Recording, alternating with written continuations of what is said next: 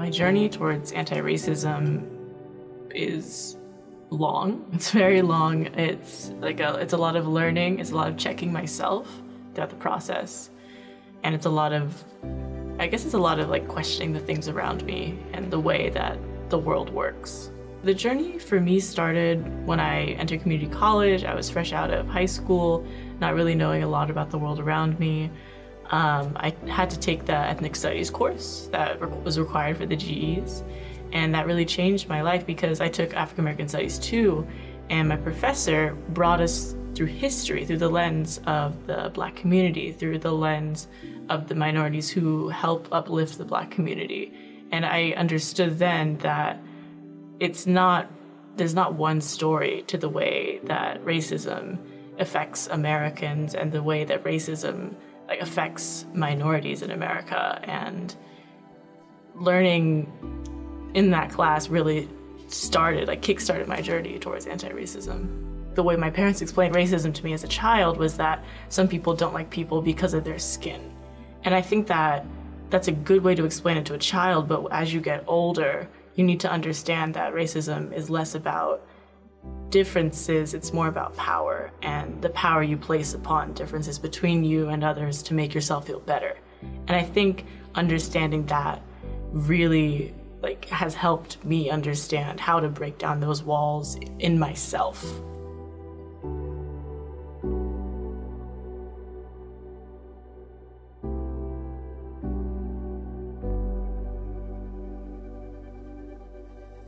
my reaction was really the reaction of like despair. Like on top of the pandemic, on top of our president, on top of all this, like three major, major things. And I remember that night, like learning about George Floyd. And that's when I like realized I need to do something. And I realized that this isn't changing. And I think the big thing that happened during the first the first night was that I felt like rage. Rage and despair. And I think that shaped the way I carried myself through the summer, through the rest of the protests.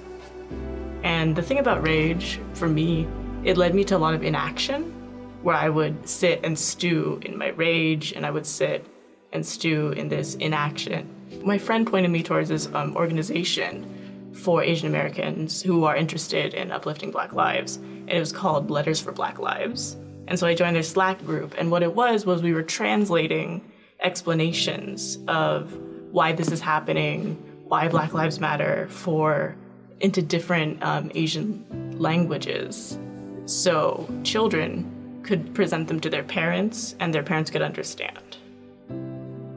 I know that racism benefits me as an Asian American because I am seen as one of the good minorities, right? And that coming to terms with that has helped me like understand that I perpetuate racism. That um, not addressing it perpetuates racism. And so it affects me in a way that I think is unique because I'm almost siding with the oppressor in my inaction. Therefore, it affects me in more of a positive way. And I want to understand, like, I know, I, maybe not I want to understand, I know why, but I think that it's important for me to, to continue to hold myself accountable and to continue to check myself and how I can uplift the Black lives around me.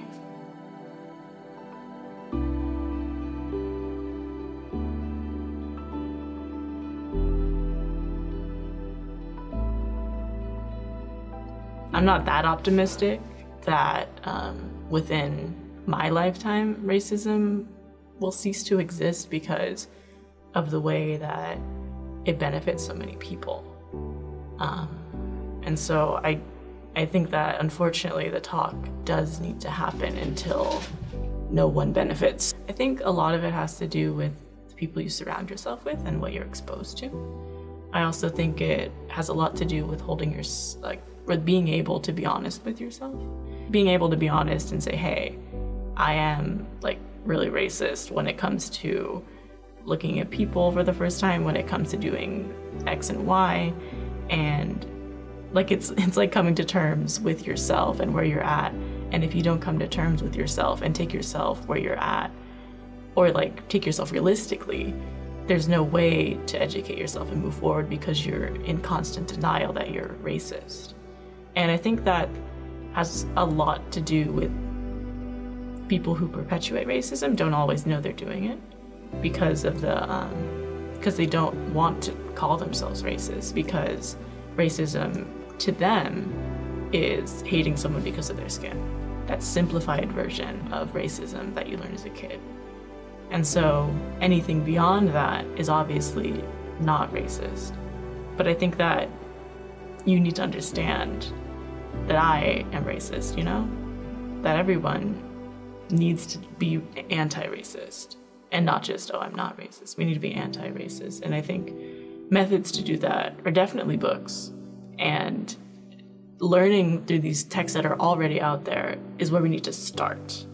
But that starting point isn't the ending point because you have to take what you what you know and you have to take it into action.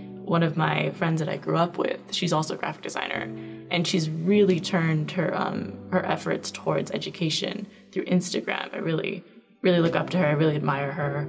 Um, name's Jocelyn Chung. She's really cool, um, and her actions have really inspired me to to try and like hold myself accountable and try to be visible about what I'm saying and what I'm doing and starting with me. And I think a lot of anti racism starts with you.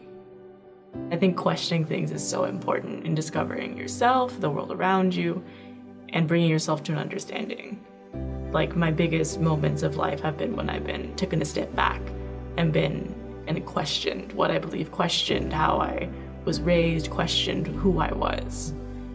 And if we don't have these moments where you need to question who you are, what you're doing, why things are the way they are around you, then we will continue onto the path that we're on because it's easy and it's safe.